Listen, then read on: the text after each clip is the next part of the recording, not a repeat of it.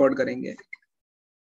सो circular motion हम लोगों ने कल देखा था। उसमें हम लोगों ने उसका डेफिनेशन देखा पहले कि क्या होता है सर्कुलर मोशन कोई भी बॉडी कोई भी ऑब्जेक्ट जब अगर सर्कुलर पाथ में मूव करता है तो उसको हम लोग सर्कुलर मोशन का नाम देते हैं। uh, और कुछ पॉइंट्स मैंने आप लोगों को सर्कुलर मोशन से रिलेटेड लिखवाए थे। मैंने आप लोगों को कुछ पॉइंट्स लिखवाए थे सर्कुलर मोशन से रिलेटेड है ना? वो पॉइंट्स क्या थे? पहला वाला पॉइंट देखो पहला वाला पॉइंट पढ़ो। फ़र्स्ट पॉइंट क्या बोल रहा है? Where is the okay so first point देखो सिंस वेलोसिटी चेंजेस हर पॉइंट पर वेलोसिटी बदलती रहती है सर्कुलर मोशन में। हर पॉइंट पर at every point the velocity changes and क्योंकि वेलोसिटी चेंज हो रही है, भले ही आपकी वेलोसिटी यूनिफॉर्म रहे, भले ही आपकी, आपका जो मोशन है वो यूनिफॉर्म रहे, लेकिन still in that case your motion will be an accelerated motion accelerated motion होगा क्योंकि हर बार, क्योंकि हर बार क्या हो रहा है? उसका डायरेक्शन चेंज हो रहा है। उसका डायरेक्शन चेंज हो रहा है। ठीक है?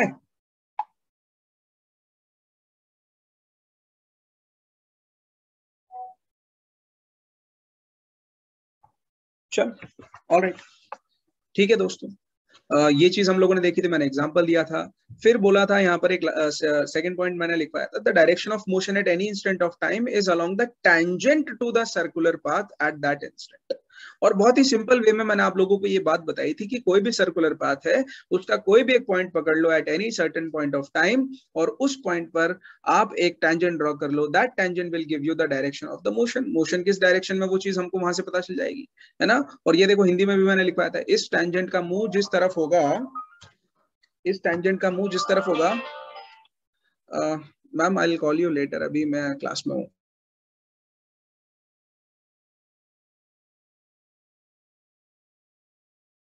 सो so, uh, इस टेंजेंट का मुँह जिस तरफ़ होगा दोस्तों है ना? इस टेंजेंट का मुँह जिस तरफ़ होगा मोशन भी उसी डायरेक्शन में होगा।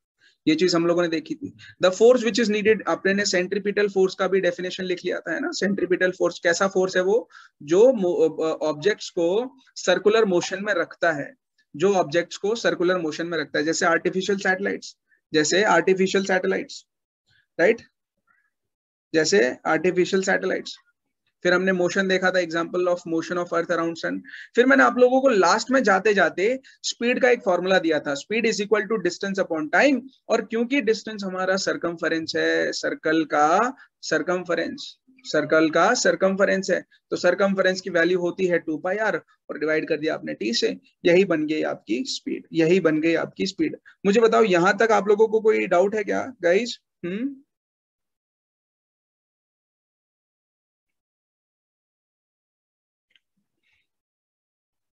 No sir Pranav Pratyaksh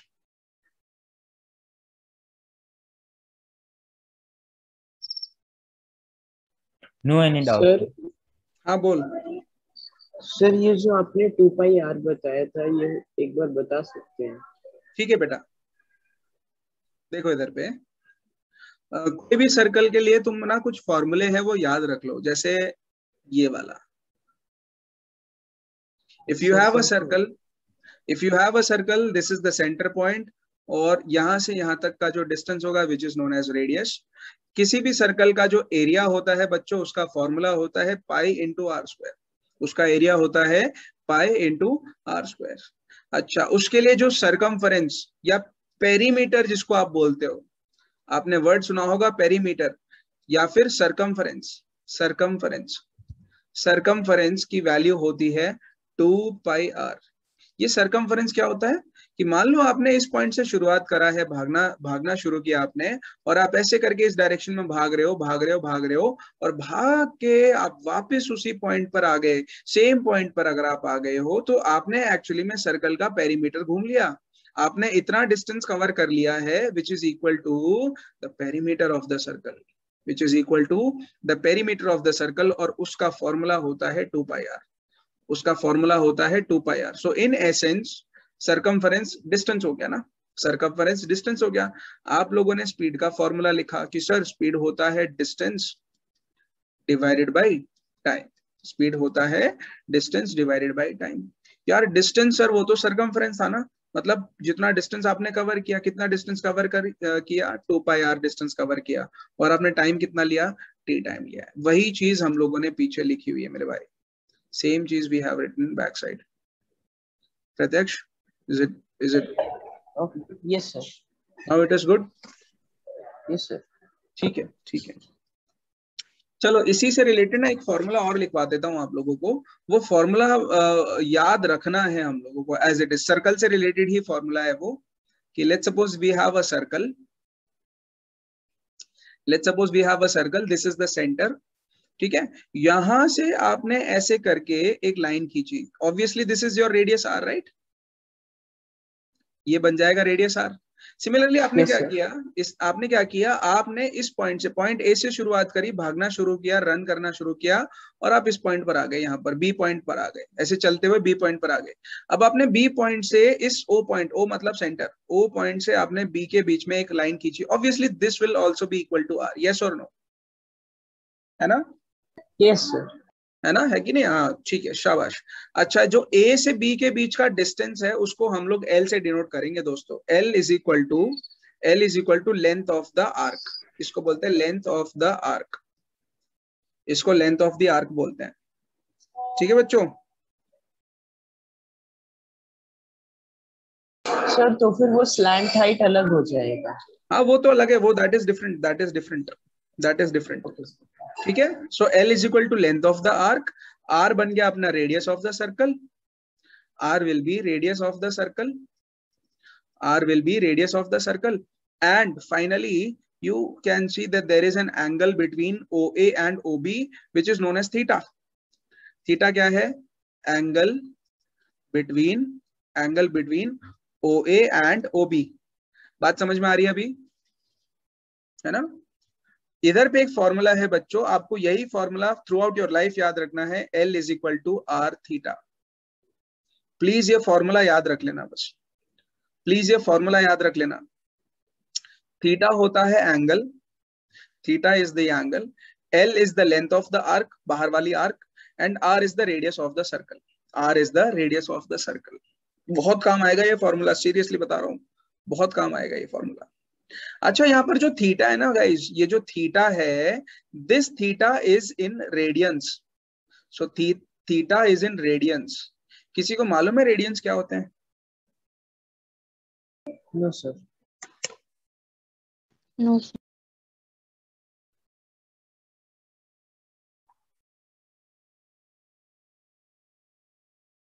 नहीं पता किसी को भी रेडियंस नहीं पता?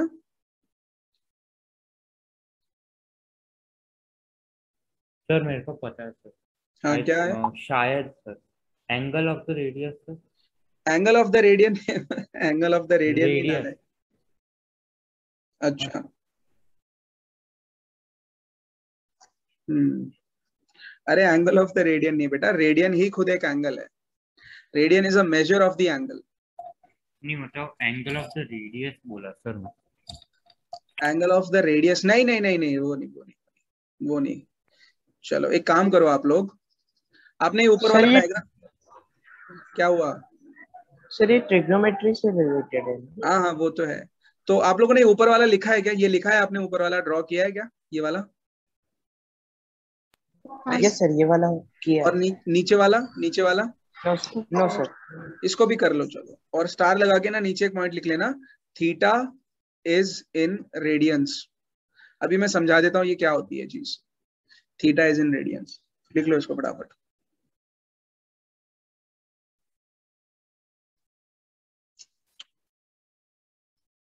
लिख लो इसको जल्दी से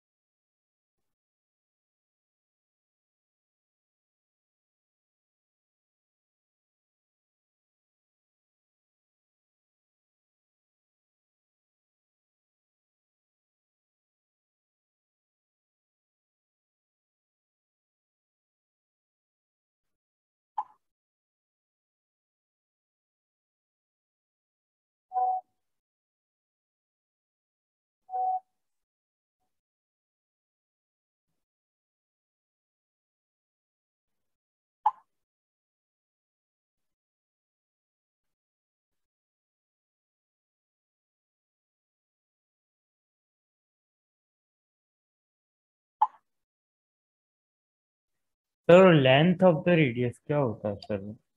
क्या बेटा? Radian sir length of the radius होता है? नहीं रे मैं अभी तुझे समझाऊँगा अच्छा, ठंड रख थोड़ा सा। और रेडियंस एंगल है बेटा वो लेंथ तो किसी हालत में नहीं हो सकता।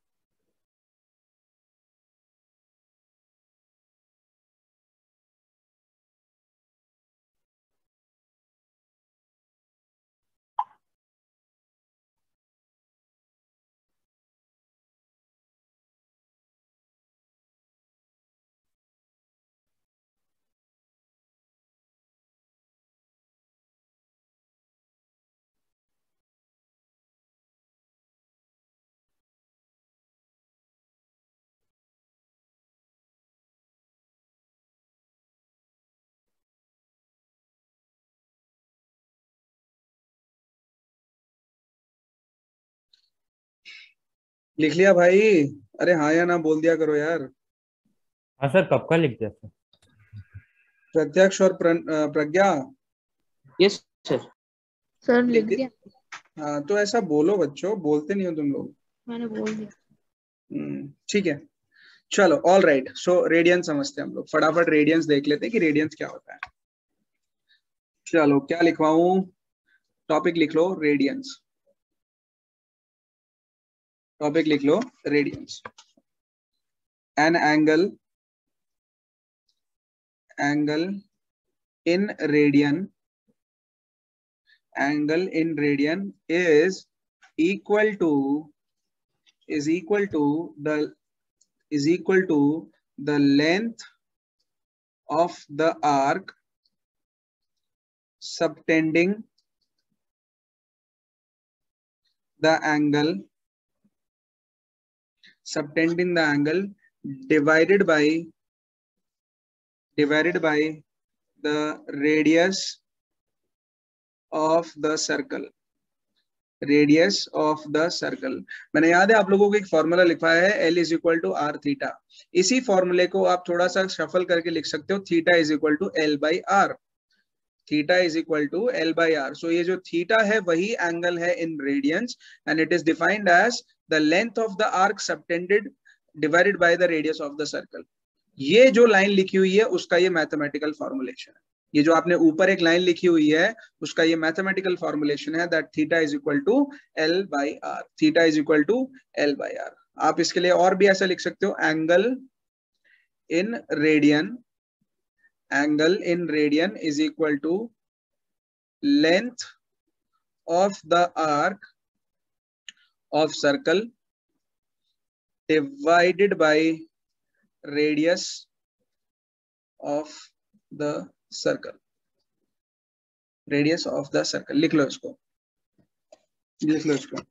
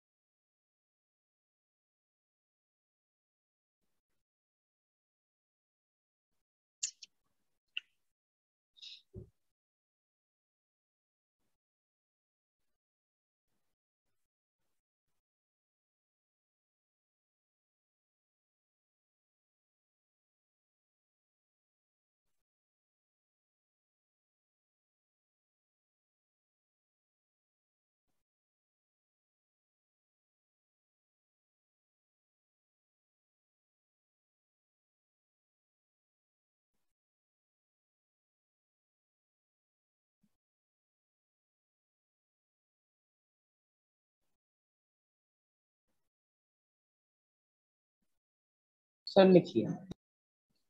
हो गया? राधे राधे।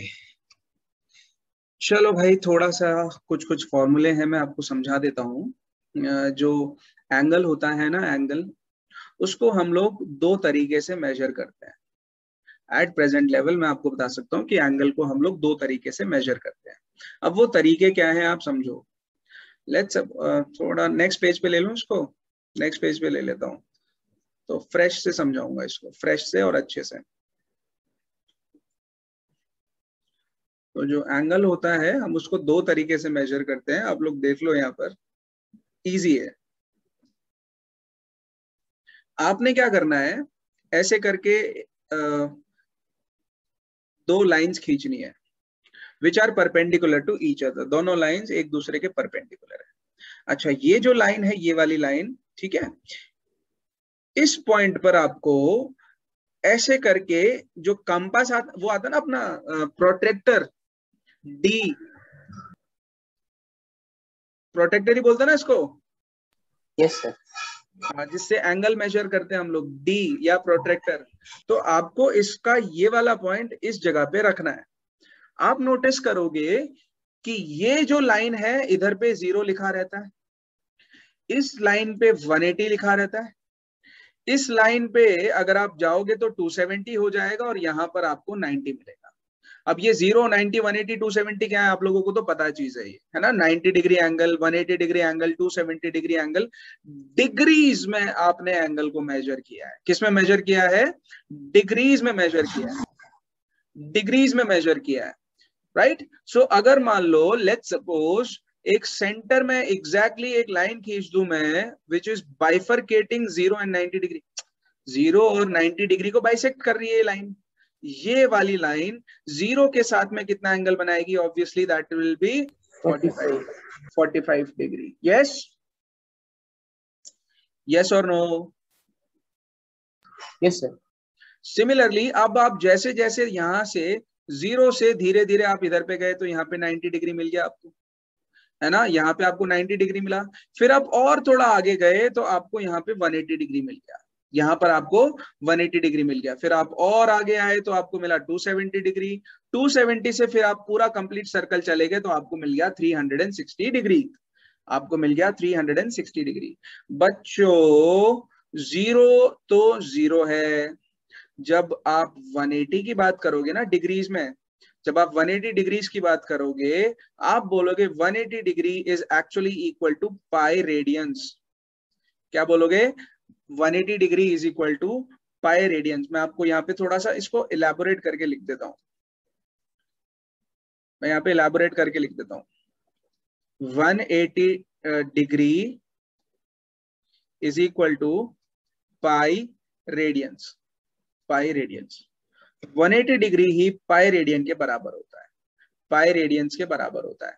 अच्छा आप बोलोगे सर ये क्या डिग्री रेडियन वेडियन ये सब कर रहे हो? इसमें मैं आपको एक सिंपल सा एग्जांपल दे सकता हूँ। यार one metre is equal to hundred centimetre होता है कि नहीं होता है? हाँ या ना? यस सर होता है ना? अभी आप मुझे बताओ यार ये मीटर क्या है? क्या ये लेंथ मेजर नहीं करता है मीटर? यस और नो यस सर करता है सिमिलरली सेंटीमीटर भी तो लेंथ मेजर करता है ना वो कुछ और थोड़ी मेजर करता है वो भी तो लेंथ ही मेजर करता है। बट है कि नहीं है? There is a difference between metre and centimetre और not there is a difference right metre एक बड़ी यूनिट है सेंटीमीटर एक छोटी यूनिट है। बट है तो दोनों सेंटीमीटर और मीटर दोनों लेंथ को मेजर करने वाली यूनिट्स है। सिमिलरली गाइज़ रेडियन भी एंगल को मेजर करेगा और डिग्री भी मेजर करेगा एंगल को ही। बट दोनों अलग अलग तरीके से मेजर करते हैं। अलग अलग तरीके से मेजर करते हैं। सो so, 180 डिग्री किसके बराबर हो जाता है? पाई रेडियंस के बराबर हो जाता है। अगर 90 डिग्री की बात करोगे आप अगर आप 90 डिग्री की बात करोगे तो वो पाई बाय टू रेडियंस कहलाएगा। पाई बाय टू रेडियंस कहलाएगा है ना? पाई के पाई का मतलब 180 180 divided by two is equal to 90 degree is equal to 90 degree ठीक है बेटा?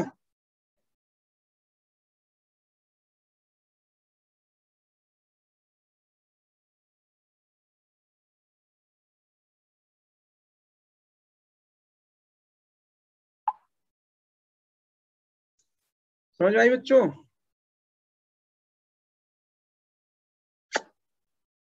अरे दोस्तों हाँ या ना कुछ बोल दो मुझे। यस सर हाँ देखो ये जो कंसेप्ट है थोड़ा सा एक हायर लेवल का कंसेप्ट है ये। आई मीन जस्ट थोड़ा सा एक हायर लेवल का कंसेप्ट है बट अगर अभी समझ जाते हो तो अच्छी बात है। नहीं आता तो भी कोई बात नहीं है। So so, 180 degree pi radians के बराबर होता है 90 डिग्री पाई बाय टू के बराबर होता है। सिमिलरली कोई मुझे फाइंड आउट करके बता सकता है 45 डिग्री कितने रेडियंस के बराबर होगा? In terms of pi 45 degree कि, कितने रेडियंस के बराबर होगा? बता सकता है कोई? Sir four pi by four pi by four बोल रहा है प्रत्यक्ष पाई बाय फोर बोल रहा है। प्रणव क्या बोल रहा है? अगर आप ये समझ गए तो आपका काम खत्म। प्रणव क्या बोल रहा है? हाँ सर पाई बाय फोर। और प्रज्ञा क्या बोल रही है? सर। समझ नहीं आया हाँ सर। हाँ मैं समझ गया। तो एक काम करो आप लोग फिर टेबल ही बना लो यार। बेटर रहेगा अपन टेबल ही बना लें। ठीक है, आप लिख लो zero degree is equal to zero radians. फिर आप आ जाओ थर्टी डिग्री पे। रट लो अब इसको फिर। Thirty degree is equal to pi by six radians. Thirty degree is equal to thirty degree is equal to pi by six radians फिर आया forty five degree. Forty five degree is equal to pi by four radians pi by four radians similarly forty five के बाद आ जाना चाहिए अपना sixty degree. So sixty degree is equal to pi by three radians table में लिख लो इसको, एक टेबल बना के या जो आपको ठीक लगता है वैसे बना के आप लिख लो इसको. इसको मिटा दूँ यहाँ से मैं. फिर 60 डिग्री के बाद में आपको 90 degree. So 90 degree is equal to pi by two radians pi by two radians फिर बात आती है 180 डिग्री की। 180 डिग्री हो जाता है बच्चों pi radians pi radians 270 degree अगर आप लिखोगे तो आप लिखोगे three pi by two radians और फाइनली एक और लाइन लिखनी है अपने को यहाँ पर। कहा लिख दू? नीचे लिख देता हूँ यहाँ पे। 360 degree is equal to two pi radians two pi radians ऐसा लिख लो चलो। ये सब भूल जाओ फिर अभी।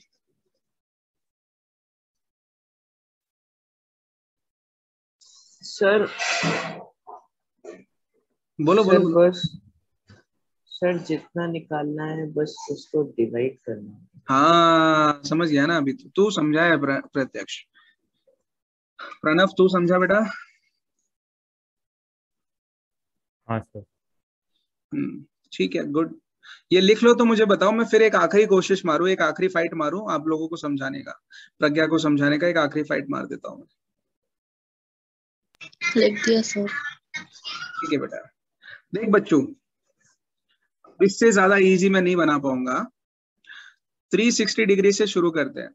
अगर मैं आपको बोलता हूँ कि 360 degree is equal to two pi के बराबर है टू पाई रेडियंस के बराबर है। टू पाई रेडियंस के बराबर है। आप क्या काम करो दोनों को डिवाइड बाय टू करो। दोनों को डिवाइड बाय टू करो। 360 डिवाइडेड बाय टू क्या आ जाएगा बेटा? 180 डिग्री आएगा। यस सर प्रज्ञा से पूछ रहा हूँ मैं अब सब। हाँ प्रज्ञा विल आंसर हाँ। So three three sixty divided by two हो गया अपने पास 180 डिग्री और आप यहाँ पे देखो टू पाई बाय टू ये टू से टू कटेगा राइट हैंड साइड में क्या बचेगा? Pi radians hmm? Yes sir वो पीछे देख लो आप चेक कर लो आपने वही लिखा हुआ है 180 डिग्री की जगह पे पाई रेडियंस लिखा है हमने या नहीं लिखा? हाँ सर हाँ चलो अभी एक काम करो फर्दर इसको भी फिर टू से डिवाइड कर दो चलो। 180 एटी बाई टू क्या आएगा बेटा? 90 डिग्री?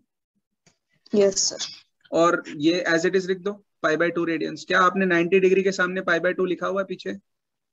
यस सर ठीक है? चलो अच्छा अब इसको भी आप टू से डिवाइड करो 90 डिवाइडेड बाय टू और pi by two divided by two pi by two divided by two 90 जब टू से डिवाइड होगा will it be 45 degree yes and pi by two divided by two क्या मैं इसको ऐसा लिख सकता हूँ? Pi by two into one by two which is equal to pi by four आप चेक करो पीछे क्या आपने 45 डिग्री की जगह पे पाई बाय फोर लिखा है। हाँ सर लिखा है। है ना? समझ में हाँ, आ रहा है मैं कैसे कन्वर्ट कर रहा हूँ इसको? हाँ सर ना इजी है? यस अच्छा 60 डिग्री को हम लोग पाई के टर्म्स में कैसे लिखेंगे? कोई बता सकता है मुझे? Sir pi three pi upon three yes कैसे आया? कैसे आया? 60 डिग्री कैसे आएगा one eighty sir one eighty से थ्री डिवाइड करेंगे 60 आ यस जाएगा देखो 180 डिग्री किसके बराबर था? पाई के बराबर था। तो जब आप 180 को आप जब 180 को 3 से डिवाइड करोगे लेफ़्ट हैंड साइड को 3 से डिवाइड कर दो तो राइट हैंड साइड को भी 3 से डिवाइड कर दो। जब आप 180 को 3 से डिवाइड करोगे यहाँ पे आएगा 60 डिग्री और राइट हैंड साइड में क्या चेंज हो जाएगा? पाई बाय थ्री रेडियंस अभी क्लियर हुआ ये? हम्म।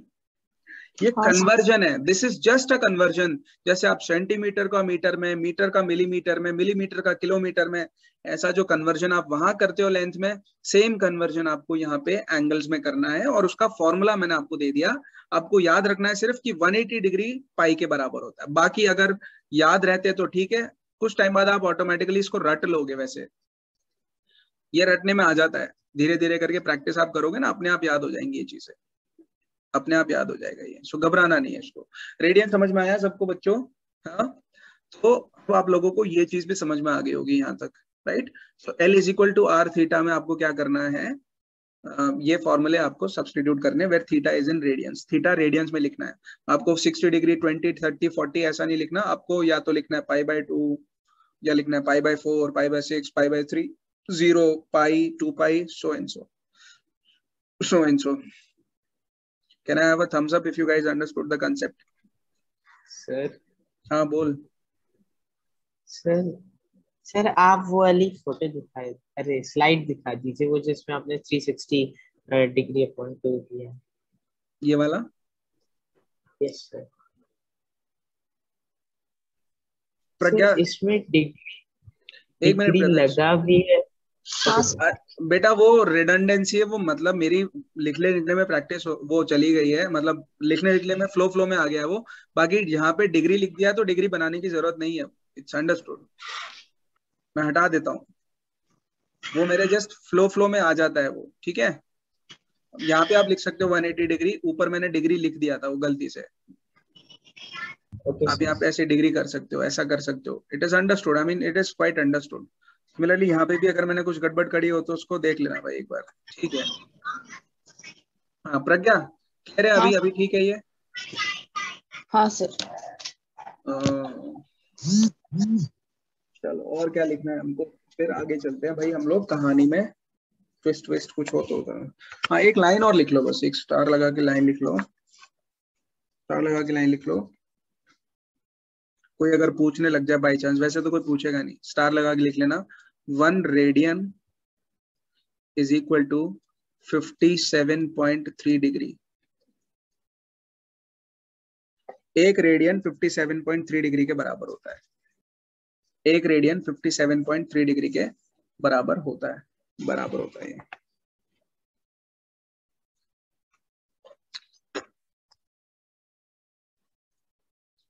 लिख लिया?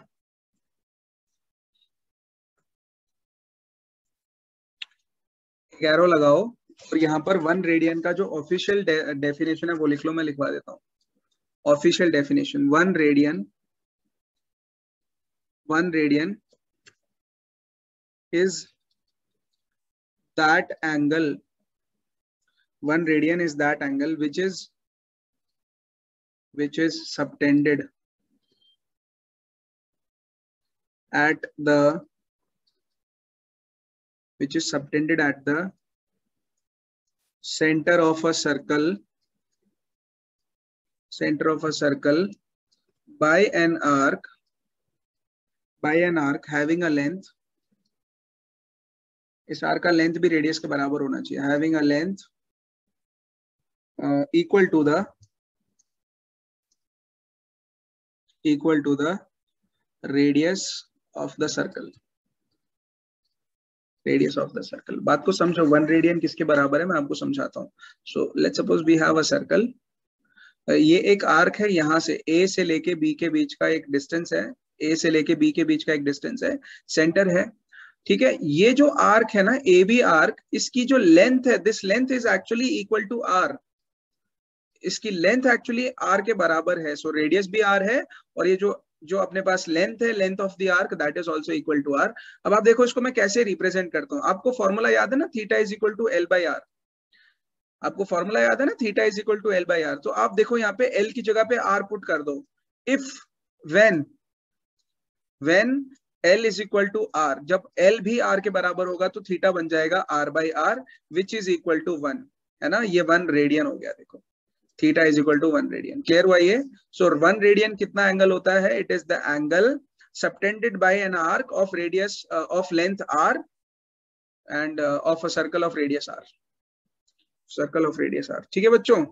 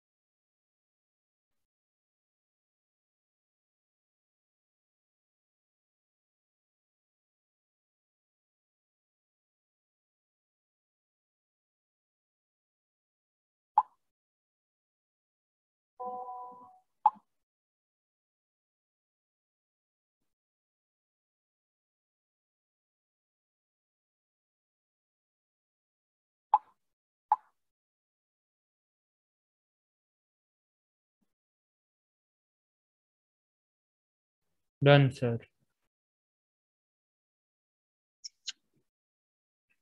हो गया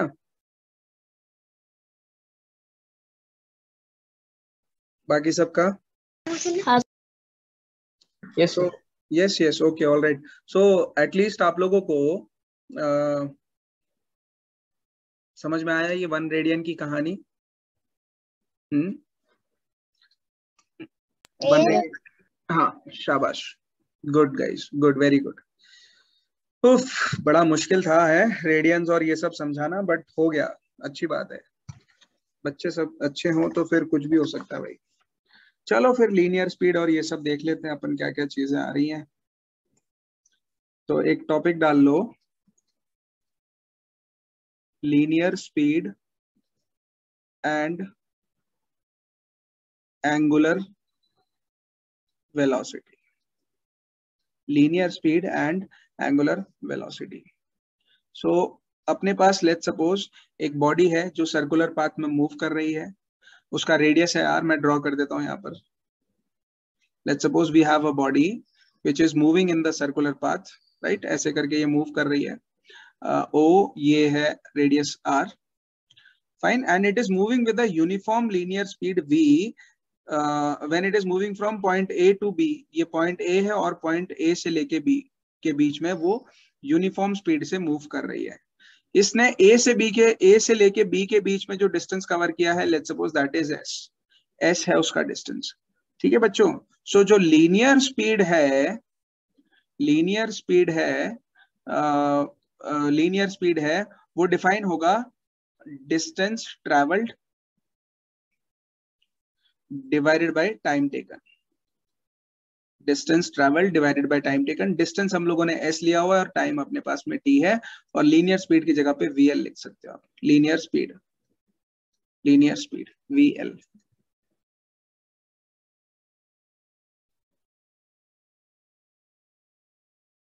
linear speed V L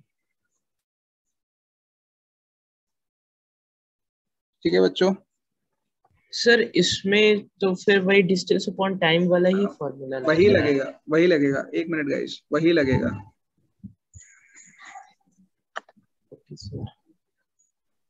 but sir इसमें जो एस दिया वो सर डिस्प्लेसमेंट से डिनोट है तो वो शॉर्टेस्ट डिस्टेंस हो जाएगा फिर। हम्म।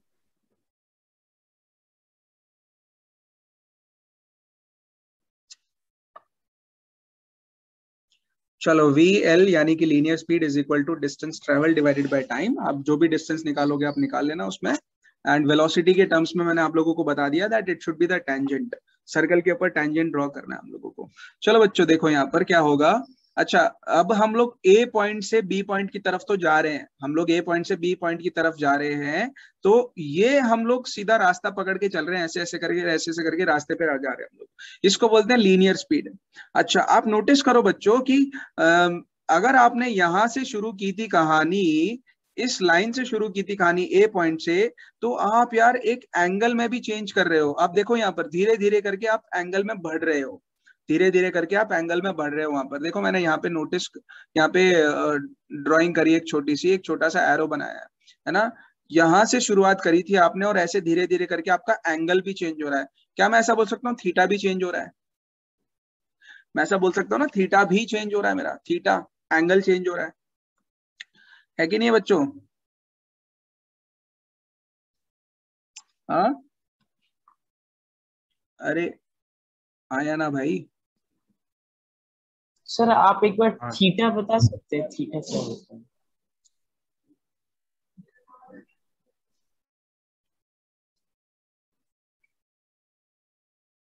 मुझे अच्छा पेन लेना पड़ेगा और थोड़ा खर्चा करना पड़ेगा।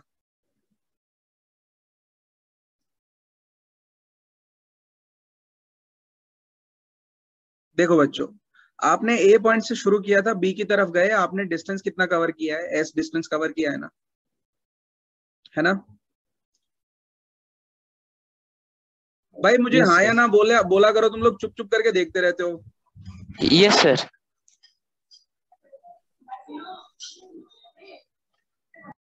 और अभी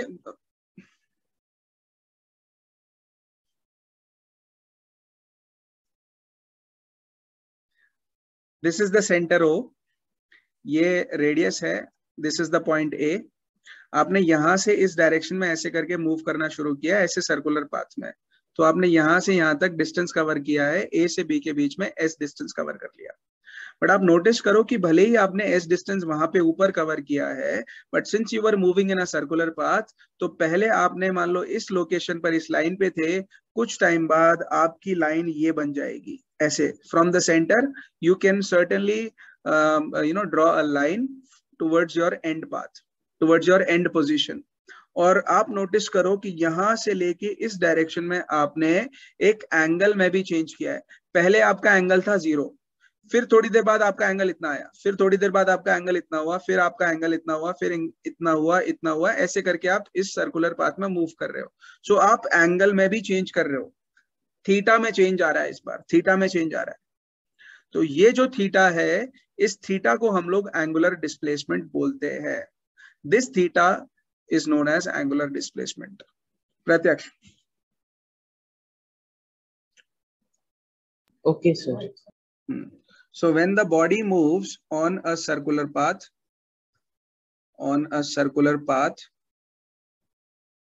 from A to B in time t. It also moves it also moves through an angle theta which is known as which is known as the ang angular which is known as the angular displacement